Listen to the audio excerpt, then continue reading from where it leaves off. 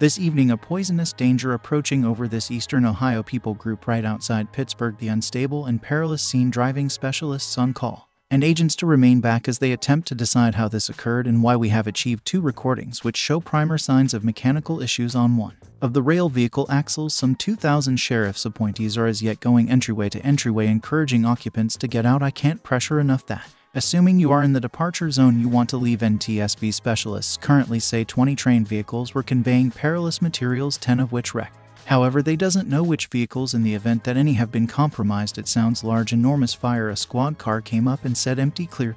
Gigantic fire actually seething as fears develop around risky synthetic substances that were on board the NTSB expresses five of the vehicles that wrecked were conveying vinyl chloride, which is related with an expanded hazard of specific malignant growths authorities say air quality. And the water supply which are being observed remain safe. Yet the Ohio EPA says some material entered nearby streams previously regulation measures were set up. We don't know about any raised readings that what we would expect to have influenced human well-being this evening. A condition of crisis is still active driving organizations and schools to stay shut. We are as yet not directing any concealed tasks it's still excessively unstable of in region keep in touch with us for latest news updates in every hour don't forget to subscribe the channel and press bell icon for all notification.